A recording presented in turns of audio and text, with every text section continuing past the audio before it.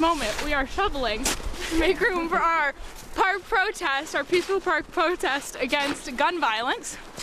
Um, we know this is a lot of work, obviously, but we definitely think it's worth it um, due to recent tragedies and just kind of the stricken plague of mass shootings that we've had in America.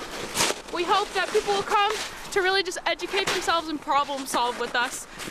And then when the Parkland shooting happened, we knew and we saw the nationwide walkouts, we knew that it was something that we needed to do. And as a group and as a school, it was something that we felt very strongly about that we needed to take action. Hi, how you doing? I'm good, how are you? Yeah, um, yeah, it's absolutely amazing. I just go up. I mean, it's just this great Upfront steep- settlement. Yep. Yep. It's like at least in I'm gonna go. for being here today to join us in conversation and democracy and change. Uh, MASA, the Mount Abe Student Activism Club, um, has organized this event, and we are so happy to see you all here supporting us and all the victims of the mass shootings that have occurred in this country. We hope to educate and spark more discussion about this issue. First, we will hear from Chloe Lyons, a co-founder of MASA. Please give it up for Chloe! Hi everyone. Okay, so I just have a little intro speech to start us off. So first off, I would like to welcome and thank every community member who took the time out of their busy days, every student who came here despite it being a Saturday morning, and if this was Saturday. Um, and all of you, and every MASA member who took uh, hours and hours to tirelessly research, organize, and contact people. They've really found their voices through these past couple weeks. This day would not have been possible without every single one of you. The other day, it was the year anniversary of the idea for our club, MASA, Mount Abe Student Activism.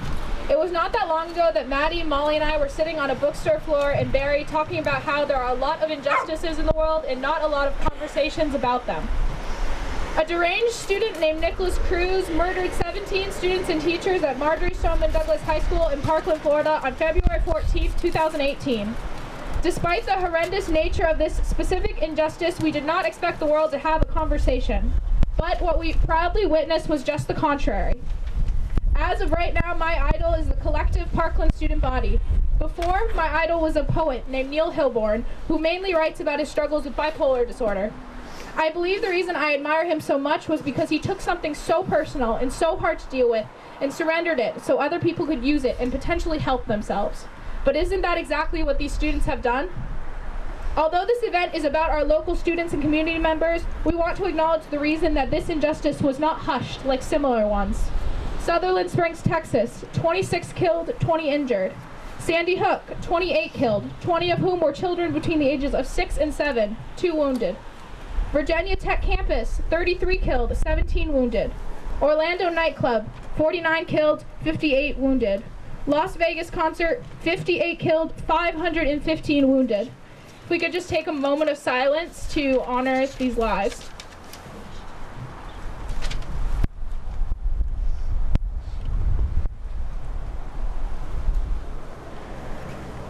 Thank you. The Parkland kids are the reason we are here, having a conversation, problem solving. As a part of MASA, we are exponentially grateful that you are all here, and it is my hope that you could give the real thanks to the Parkland students by helping us figure out how we can make sure this happens never again. Thank you, Chloe. May Peterson, a member of MASA, and she will explain the petition we have here today. Alrighty, so as a MASA group, we wanted to come up with how we felt and the actions that we wanted to take and the specific message that we wanted to get across. So, as written by Eli Rickner, we came up with a petition for what we felt really needed to happen. So, I'm going to read that petition to you. Oh boy. Mass shootings continue to threaten Americans' rights to tranquility and general welfare in our country. As members of the United States public school system, we wish to promote and present gun safety reform to our state and national legislation. The Mount Abe Student Activism Club wishes to advocate for enhanced universal background checks for all gun sales, increased enforcement of disarmament of felon gun laws, and the implement implementation of firearm safety courses, such as hunting safety courses for all gun purchasers. By signing this petition for gun safety reform, you are voicing your support for these policies that will, that will be given to our state and national representatives. MASA thanks everyone for their support of our movement and your help in stopping such tragedies from occurring ever again.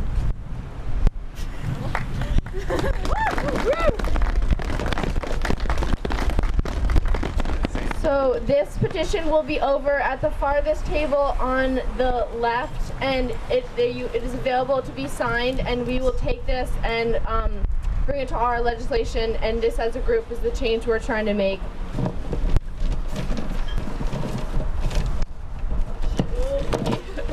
um, we have three other petitions here today for you too. These are from change.org. Some of them started from victims of the Parkland uh, shooting. Um, we just feel um, petitions are a huge part of taking political action. It's a solid way to show the lawmakers how the people really feel about certain bills or actions being taken and not taken. Um, I know most of us are here because we want to show our community and our lawmakers that we demand change. So uh, we have found some credible petitions from change.org, like I said, that we would love for you to sign if you want to support their messages. They are online petitions, so by signing them, so by signing your name at the petition table, you are giving us permission to upload your name electronically. So we have the following petitions. The first petition was started by Anisha Sarapali, a Marjory Stoneman Douglas High School student and a close friend to one of the teenagers killed in the recent mass shootings. In her words, Nick Cruz killed 17 people, some who were freshmen just starting their second semester of high school, others seniors who just committed to their colleges of their dreams. He took away their hopes and aspirations. All she asks is for our lawmakers to stand up to the NRA and to pass common sense gun control. Sign this petition to show that you demand the same. This second petition was started by a Connecticut high school student, Lane Murdoch. Her petition reads, on Friday, April 20th, the 19th anniversary of the Columbine shooting, I propose a national high school student walkout.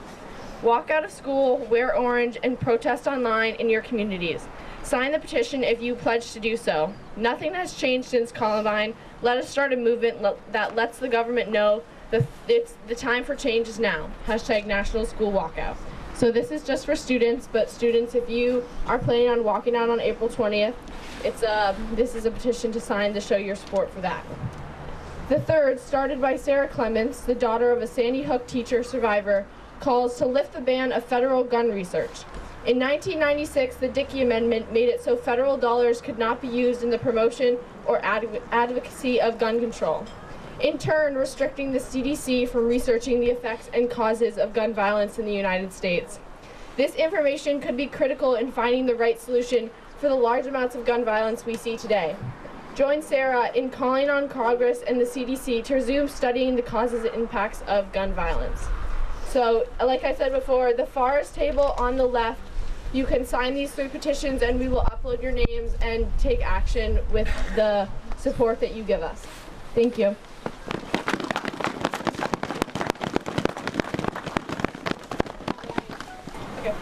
Um, next up, Casey Ober is going to read an original poem um, that was created in light of the recent shooting in Parkland.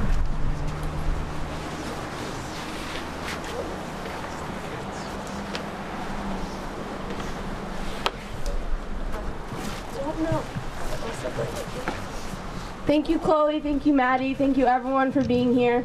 Um, I've participated in some poetry out loud and I've felt pretty passionate about this movement and I decided to express my feelings through poetry.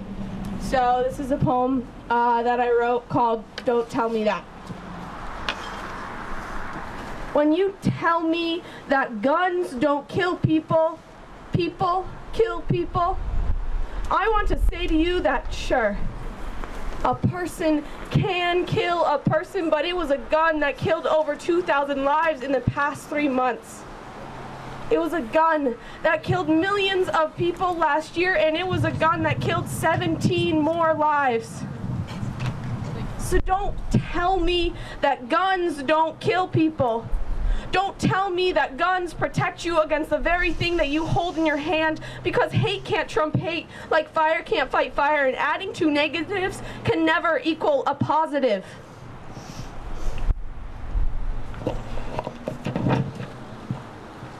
If you tell me that a law isn't going to change anything, then I ask you to reread your Constitution because the right to bear arms changed something.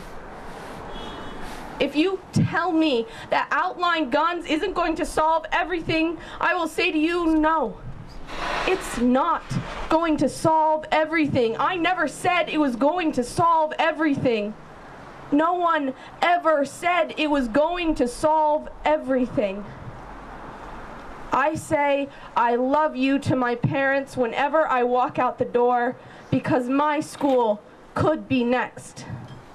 Their office could be next. We all could be next.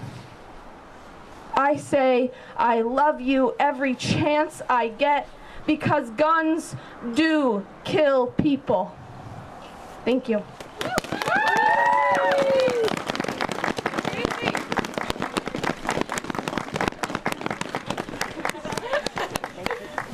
Okay, thank you for listening to um, the first part of what we have to say. So we have a lot of activities and things planned for you, and I'm going to introduce them, and then we're going to reconvene. And sometime after, you know, we've let everybody have a look at the different tables and have discussions with everybody and ask questions to us and other people that I'm going to introduce right now. So we have Representative Fred Baser. Fred would love to talk to you about, um, you know, our. Um, we also have Representative Dave Sharpe. Dave, will you yep. Go students! He would also love to talk to all. Um, we also, at the Addison County Democrats table, have Linda, Andrew- Linda Andrews and Paul Florenza.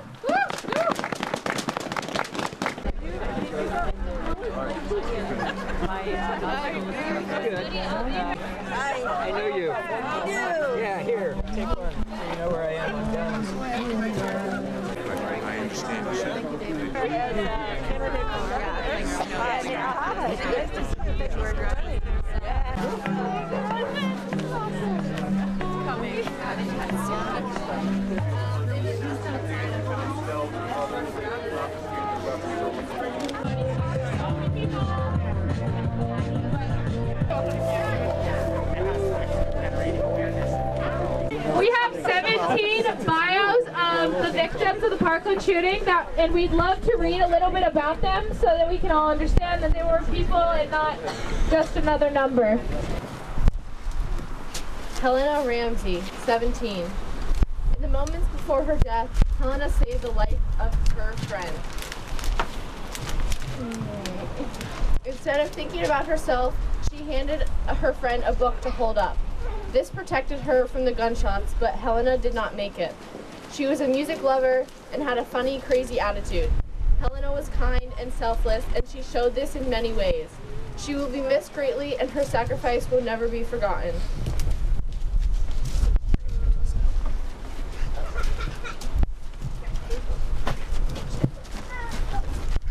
Joaquin Oliver, 17. Joaquin loved Dwyane Wade so much that he was buried in his jersey. In response, Wade dedicated this whole season to Joaquin. Joaquin was a dreamer. He was a fighter.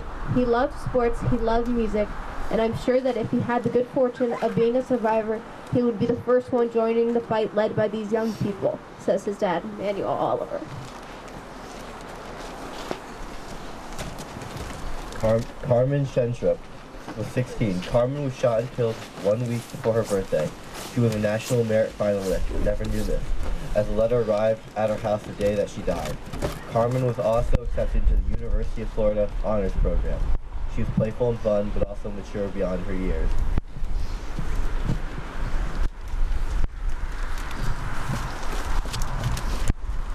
Peter Wang, 15. Peter was shot and killed while holding a classroom door open, letting his fellow classmates to safety and sacrificing his life. Peter spoke both English and Chinese and was described as funny, caring, and selfless. Peter will be missed greatly, and his sacrifice will never be forgotten.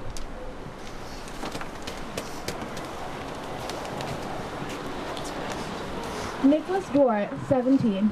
Nicholas was a swimmer, a brother, and a good friend. He had recently committed to University of Indianapolis, where he planned to continue his swimming career. He was a he was very positive and a very cheerful cheerful person, says a teammate. He was always trying to encourage people to push themselves to the limit. He was very dedicated and determined in swimming, and he was a very kind person.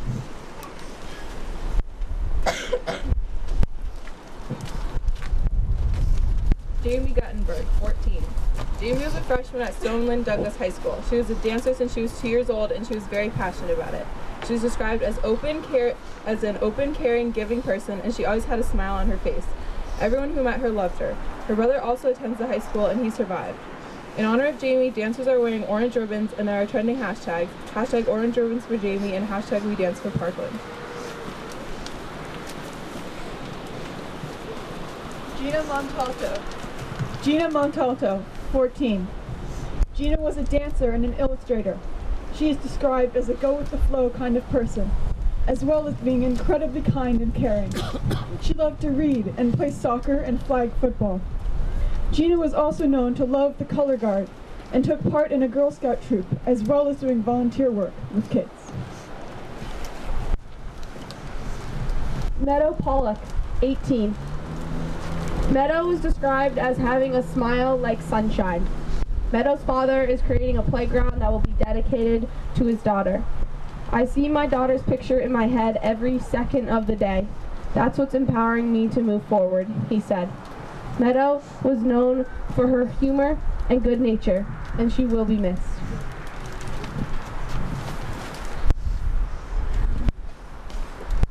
Alex Schachter, 14.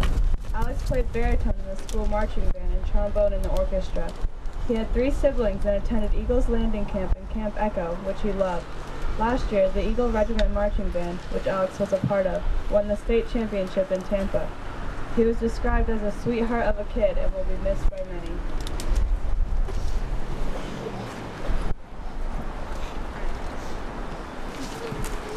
Elena Petty, 14.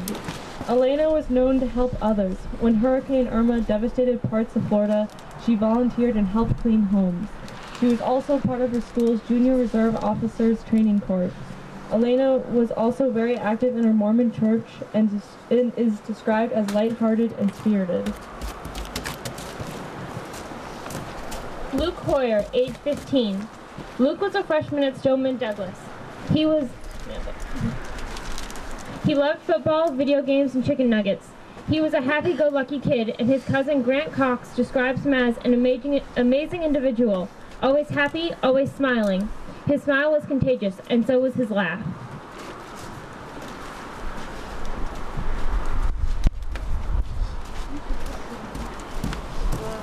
Cara Loughran, 14. Cara loved Irish dance, surfing, and gymnastics, says Cara's aunt Lindsay Fontana. Morning, I had to tell my eight-year-old daughters that their sweet cousin Cara was killed in the shooting at Stoneman Douglas High School yesterday. We are absolutely gutted. Cara was 14 years old. She was an excellent student. She loved the beach and she loved our girls.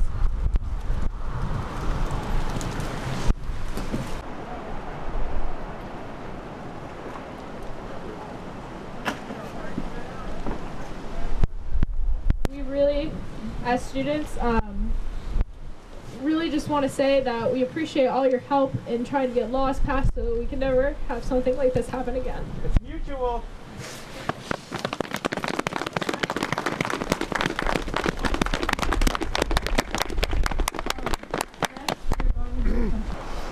there once was a boy. He knew soon that everyone would know his name and see his face on their televisions. What he didn't know was what he was doing. Drowning in his own abstract version of reality, plagued by mental illness and chaos. His bed wasn't made, he skipped breakfast, and he loaded his gun. The bullets shiny and clean. He left for school and didn't return home. There once was a girl. Her phone lit up in AP English, and what she read made her sick to her stomach. Her automatic news updates told her 17 had died in Florida at the hands of yet another mass shooter. Days passed, and for once, the notifications did not stop. Podcast after podcast, news story after news story, interview after interview, her generation was taking a stand, and she thought, you know, I can too. There is a girl addressing her community, only asking that they listen and ask themselves, what can we do? This girl realizes that there is not one specific reason or one specific solution, but there is a starting point. The coming together of her classmates, her community, and her nation. People must be willing to stand for all of America.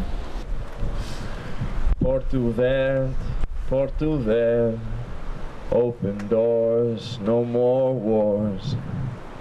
For to Porto Verde, Porto Verde, open doors, no more wars. Day one in Beirut, Paris day two. Day three may be wherever you or I may be. Does that mean we should be afraid? Tell foreign people to keep away? Please, let's be the change.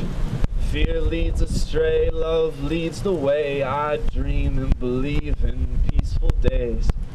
Fear leads astray, love leads the way. I dream and believe in peaceful days. And I just want to let 17 year olds know that if you will be 18 in time for the November election that's coming up, that you are eligible to vote, register to vote now, and you would also be eligible to vote in the primary election in August. I'm sorry I haven't memorized the date of the November election. Paul, do you know it? November 5th? November. It's the first Tuesday in November generally. Um, haven't thought that far ahead yet. But um, you can look it up, and if you if you will be 18 by then, but you're not 18 now, now is the time you can register to vote and be ready to go when when the next election comes along. So.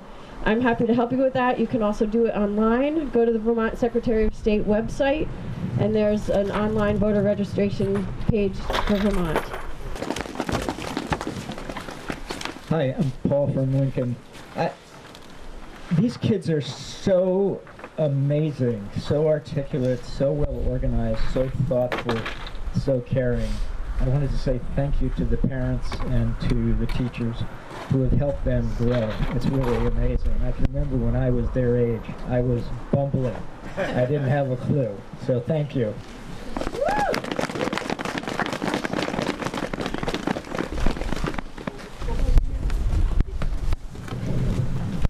Scott Beckwith, Mount Abraham. Thank you all for being here. I'm very proud of these kids. Um, you know, we teach a civics class at Mount Abraham called Age of Legality, and we encourage them to actually think about their cultural capital and what we can do to have their voices be heard. This demographic, for the first time in many years, is standing up and actually speaking out. It's so encouraging. I'm so proud of you. I am grateful for this moment, and I just hope that you don't lose the momentum. Stay with this, you guys. This is so vitally important. Please.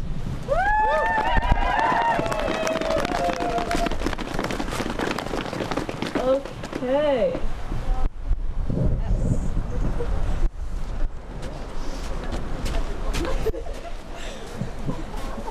My name is Patty Heatherly, uh, former teacher. Uh, I'm so grateful to all the students and all that you've done and continue to do. This is what I call success to gather us together. There's a prayer, a Buddhist saying, May the compassionate spirit of love grow within us so we may complete the enlightening path. So thank you for enlightening us.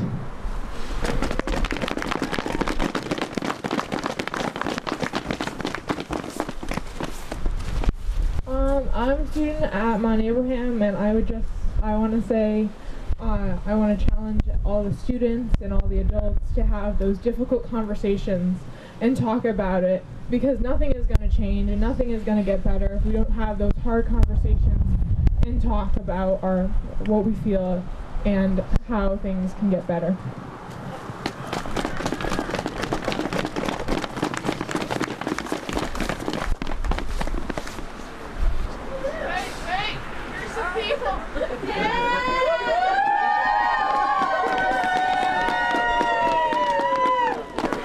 Also, just want to give a really big shout out to this girl in pink, Molly Fung.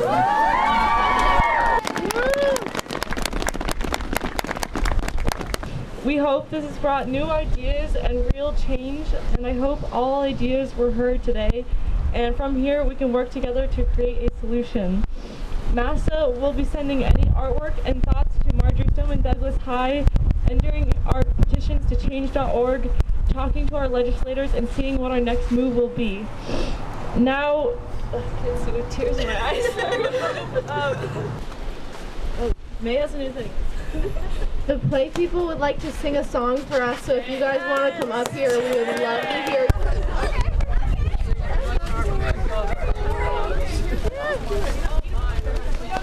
One,